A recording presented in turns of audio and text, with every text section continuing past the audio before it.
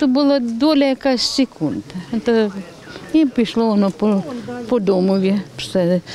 І в окна тарабанили. Так про пережите нічне жахіття згадують люди. Уламки впали на сусідній приватний будинок у Дніпровському районі. Взрыв и все. Соскочила и все. Стекла полетели. Пошлите. Вышла, люди бегут. Ну, я оделась и тоже бежать. Вот к тому дому. У хатині, куди впали уламки, ночувала родина: двоє дорослих і троє дітей. Перебувало троє діточок. Е, Одна дитина е, віком 8 місяців, і двоє діточок е, віком 8 років. Серед малечі донька пані Юлії. Я знаходилась в себе вдома, дочка моя залишилась у бабусі тут.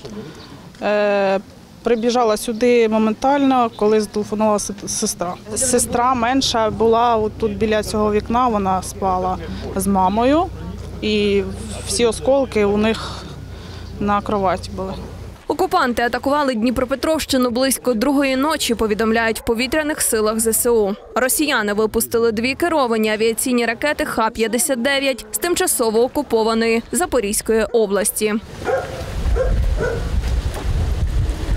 Уламками пошкоджено авто. Это э, машина моего сына. Ну вот она сделалась как, как скелет, знаете, деформированный. та п'ятиповерхівку поруч. Від вибухової хвилі в ній вилетіли вікна. Мешканка будинку Антоніна Іванівна каже, цієї ночі не спала, ніби перечувала лихо. Я просто прийшла до вікна, дивлюся з тої сторони, якийсь красний шар. Я ще думаю, ти гля, яка звізда та сама. А в мене диван, я тільки сіла, і тут очко тільки жух, і от це вже е, зарево. Я подумала, що вже цієї хати і сім'ї немає. З кішечкою басею пані Наталя. Саме тваринка розбудила родину жінки перед гучним вибухом. Бася, оце вона злякалася. Представляєте, вона мене така кішка е, дуже умна. І оце ж злякалася, що такого удару. Ми спали дуже кріпко, скажімо так. Але від сильного такий бабах і диван, в мене навіть диван, так мені показав, що він як е, затрясло його. Я швидко вскочила, сама почала трястись з переляку.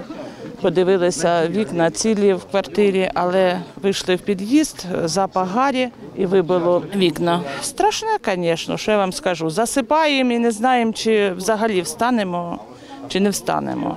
Цієї ночі обійшлося без загиблих і постраждалих. На місце приїхали волонтери. Людям видають будматеріали, аби закрити вибиті вікна. Світлана Пархомук, Юрій Смірнов, Open News, телеканал відкритий.